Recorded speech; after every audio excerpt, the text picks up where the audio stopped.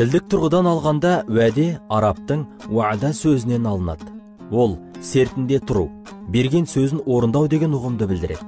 Термин сөз осы күнімізге дейін дәл сол ұғымда бұзылмай жеткенін ескерсек мұның өзі біздің бабаларымыздың аманатқа беріктігін көрсетсе керек қазақша айтқанда уәде алланың аты деп айтады. Яғни уәде деген бұл мұсылманшылықтың үлкен бір көрсеткіші. Ә, пайғамбарымыз алейхисаламды білесіз мұхаммад амин деп атаған. Ә, бұл ә, пайғамбарлық келерге дейін 40 жасқа дейін адал саудагер болғандықтан жұрттың дүниесіне қиянат қылмағандықтан мұхаммад амин деп яғни сенімге лайық сенімді амин деп мұхаммед деп бүкіл адамдар ә, жаңағы керуендерін тауарларын сол кісіге тапсырып бұл кісінің сауда саттығын сол кісілердің жүргізгенін жақсы көріп тұрған. Мысалға айтайық бүгінгі таңда ә, дәл бүгінгі осы сіз бен біз өмір сүріп жатқан таңда уәдеде тұрмау неменен көрініп жатыр көрінісі? Көбінесе бұл ә, қаржылай мәселемен. Мысалға бүгінгі таңда мұсылман бауырлар оллахи биллахи деп ант ішіп жаңағы құран ұстап қазақша айтқанда ә, қарызға ақша алады бірақ оны қайтармайды. Оның қайтаруы екіталай жаңағы адамдар ә, соның артынан жүріп бір бірімен ренжісіп ой сенің оқыған намазың қайда қалды мұсылманшылығың қайда қалды деген сияқты ауыр сөздерді айтып жатады. Яғни бұның барлығы уәдеде тұрмау. Уәдені орындау міндет. Жігіттің екі сөйлегені өлгені деген сөз бар. Мұның түпкі мақсаты ер адам уәде берген соң оны орындап сертіне берік болуы керек. Яғни айтқан сөзінде тұрмау ер жігітке тән қасиет емес. Бұл уәде ә, араб тілінде а деп келеді. Бұл уәдеде тұру ә, бұл мұсылманшылықтың бір белгісі. Себебі уәдеде тұру алла тағала уәдеде тұрған пенделерін мақтайды. Қасиетті құранда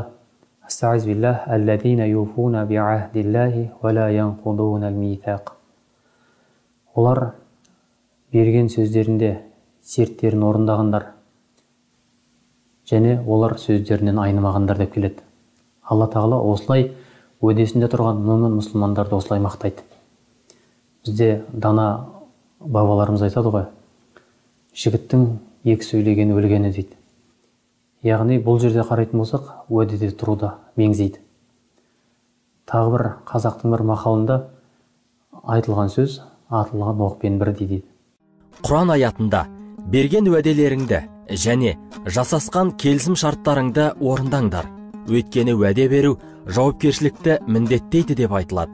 Ал дана бабаларымыз уәде түрінде айтылған сөзді атылған оққа теңеп сөзбен істің бір арнаға тоғысуын меңзеген. Және басқа бір хадистерде енді кімнің бойында осы алты сипат болатын болса осы алты сипат бар деп кепілдік беретін болса оны мен жаннатқа кіретін кепілдіктерін беремін деп пайғамбарымыз саллаллаху алейхи вассалам хадистерінде айтты. Ол жерде де ең бірінші сөйлеген сөзі яғни рас шығу. Екіншісі сол уәдеден тұру болатын болса үшіншісі яғни сол аманаттан не істемеу ә, қиянат жасамау. Төртіншісі ә, неден? Кімде кім өзінің әурет жерінен не істесе жауапты болатын болса. Яғни оны сақтап жүріп кепілдік беретін болса осындай адамдарды пайғамбарымыз саллаллаху алейхи айтты. Ол не? Мен кепіл берем ол жаннатқа кіреді деп біреуге уәде берген болсаңыз сол уәдені орындасаңыз сіз сол адамның сеніміне кіресіз. Ал сенімге кіру адамның бұл ең биік қарым қатынастардың бірі болып табылады. Ал сіз егер уәдеде тұрмайтын болсаңыз онда сіздің бойыңызға ешқандай жауапкершілік сөзіңізде тұру деген қасиеттер болмайды. Бұл екіжүзділіктің белгісі болып табылады екен. Сондықтан да біздер бұндай сипаттардан аулақ болғанымыз абзал болады егер біз уәдемізде тұратын болсақ уәдемізді орындайтын болсақ біздің істеген амалдарымыздың қабыл болуына алып келе, алып келіп соғады. Ал біздер уәдемізде тұрмасақ өзгелерді алдап жүріп өзгелерге қиянат жасайтын болсақ онда біздің алланың алдындағы дұғамыздың құлшылығымыздың қабыл болмауына септігін тигізеді екен. Біз бұл нәрседен аулақ болғанымыз жөн болып табылады. Екі жүзділіктің сипаты.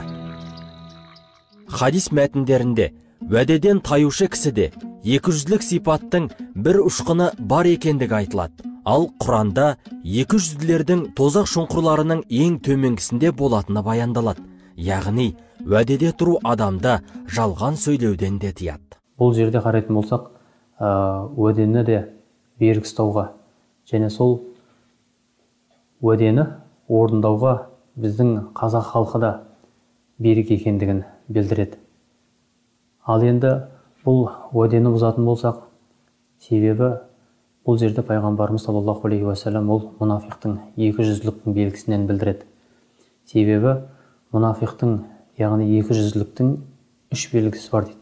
Соның бірі уәде берсе уәдесінде тұрмау дейді.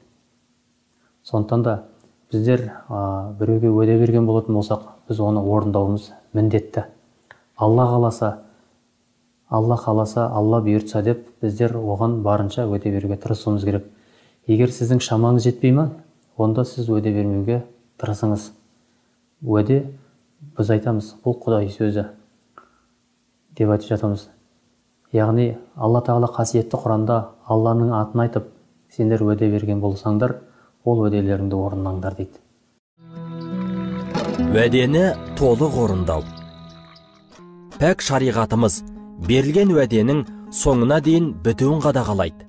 Ей иман келтіргендер берген уәделеріңнің шарттарын толық орындаңдар деген аят бар. Демек уәденің толық орындалғанына көзіміз жетпейінше істі аяқсыз қалдыруға болмайды. Енді пайғамбарымыз алейхисаламның бір хадисінде айтқан алла тағала ә, қарызды қайтару ниетіменен алған адамның сол қайтаруға бүкіл жағдайын жасайды деген. Яғни адамның о бастағы алғандағы ниеті немесе бір істі бастағандағы ниеті ол жаңағы қайтару немесе орындау болса уәдесін алла тағала соған жәрдемін жасайды. Яғни ол адамға мүмкіншілікті туғызады. Сол себепті деген хадис бар білесіздер. Бүкіл істердің бәрі адамның ниетіне байланысты әрі қарай жүреді дамиды. Сол себепті адам о баста өзі ниетін дұрыстау керек. Яғни бір адам уәдесінде тұратын ә, мысалы үшін адамдар ол айт айтпа ол уәдесінде тұрады уақытымен келеді сағатымен жүреді мысалы үшін. Ал енді уәдесінде тұрмайтын адамдар әртүрлі сол жерден қалай болса қақып кету алып кету бірақ әртүрлі мақсаты жаңа уәдесінде тұрмау. Исра сүресінің 34 төртінші аятында сертті орындаңдар уәде сөз жоқ сұралады деп айтылған. Уәде ойыншық емес әр берген уәдеміздің салмағы ауыр екенін сезінуіміз керек. Содан сұралатынымыз әрдайым санамызда тұру керек. Қасиетті құранда алла тағала бұл егер уәде берсеңдер ол уәде сендерден сұралады дейді. Яғни серттеріңді орындаңдар дейді. Себебі уәде бұл ертең алланың алдында сұралады дейді. Яғни саф сүресінде алла тағала екінші үшінші аяттарында баян етеді. Ей мүмін мұсылмандар сендер айтқан сөздеріңді неге орындамайсыңдар дейді. Егер сендердің айтқандарыңды орындамайтындарың дейді бұл алланың алдында өте үлкен зор ашуға ашуды тудырады дейді. Уәде мүминнің сипаты. Құранда. Мүминдердің бірнеше сипатын тізіп мақтайтын аяттар бар. Пенденің нақ мүмин екендігіне дәлел болатын сол сипаттардың бірі уәдеде тұру. Ал алланың назарына түсу мақтаулы болуы бұл өмірдегі әрбір адамның мақсаты. Енді мәселе біздер түсінуіміз керек пайғамбарымыз алейхисалам хадисі бар. Ә, егер бір адамның бойынан осы төрт түрлі амал табылатын болса төрт түрлі жаман іс қателік табылатын болса ол адам толық мұнафық дейді яғни екі жүзді. Егер оның төртеуі де табылмай ең болмаса біреуі болған болса да ол адамда сол екі жүзділіктің нифақтың яғни белгісі бар дейді.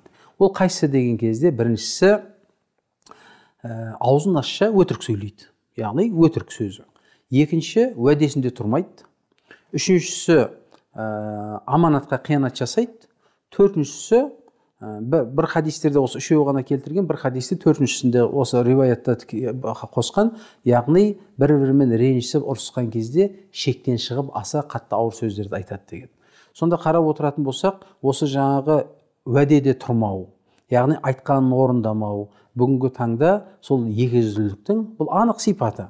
Пайғамбарымыз саллаллаху алейхи уассалам төртінші сипатын айтты. Ол егер кісі сөйлейтін болса дереу сол сөйлеген сөзі өтірік шығады деп пайғамбарымыз саллаллаху алейхи вассалам айтты. Осы төрт қасиет кімнің бойында болатын болса оның құдай сақтасын кімнің ә, мұнафиқтердің екіжүздіктердің белгісі бар деп пайғамбар саллаллаху хадистерінде айтты. Олай болатын болса бұл ә, асыл қасиеттерді өзіміздің бойымызда әрқашан бекем ұстап оны біреулерге үгіт жасап ә, бүгінгі таңда жас өспірімдерге яғни жастарға ә, келешек болашақтар болашақтағы яғни жастарға не істейік әрдайым үгіт насихат жасайық сондай ақ уәдеге берік болу адамдардың өзара сенімнің жоғалмауының бір біріне деген құрметін жоғары қоюдың белгісі. Бірде пайғамбарымыз саллаллаху алейхи уассалам заманында бір әйел кісі өзінің баласын шақырады ей балақайым бері кел мен саған бір нәрсе беремін дейді сонда пайғамбарымыз саллаллаху алейхи уассалам әлгі әйелден сұрайды. Сен балаңа не берейін деп жатсың? дейді не берейін деп шақырып жатсың? дейді сонда мен осы нәрсені жаңағы құрманы бір меңзейді. Сонда пайғамбарымыз саллаллаху алейхи уассалам сен егер де ол баланы алдап шақырған болатын болсаң онда сен алланың ашуын туғызған болар едің дейді сондықтан да біздер ә, уәдемізде тұрмау біздердің алла тағаланың ашуын тудыратын амалдардан болып табылады екен. Сондықтан да бұл уәдеде тұру адамның қарым қатынасының берік болуына септігін тигізеді екен. Енді пайғамбарымыз алейхисаламның заманында ә, пайғамбарымыз саллаллаху алейhi бір адамменен ә, уәделеседі осы пәлен жерде пәлен сағатта кездесеміз деп. Сосын әлгі адам оны ұмытып та кетеді. Сосын ертесінен ғой деймін. Ертесінен сол жерден өтіп бара жатса пайғамбарымыз саллаллаху алейhi әлі сол жерде тұр екен. Яғни ол кісіні күтіп әде уәделескен жағдайда тұр екен. Сонда әлгі адам ой неғып тұрсың? деген сияқты сұрақ қойған кезде уәделескен едік қой мен әлі күтіп тұрмын дейді. Яғни бұл сөздің мағынасы уәдеге тұру уәдеге берік болу бұл пайғамбарымыздың сүннеті. Сол себепті мұсылман адамның бірінші белгісі осы уәдеде тұру уәдесіне мықты болу бұл бір жақсы бір иманның тақуалықтың бір көрсеткіші болады. Қазақта уәде құдайдың сөзі деп бекер айтылмаса керек. Құранда да әй мүминдер істемейтін істеріңді неге айтасыңдар? Істемейтін істеріңді сөйлеулерің алланың қасында зор ашуға себеп деп ескертіп тұр. Яғни сөзінде тұрмайтын кісіні ұлы жаратушымыз сүймейтіндігін аңғарамыз. Алла бізді уәдеде тұрушы айтқан сөзін орындаушы құлдарынан етсін.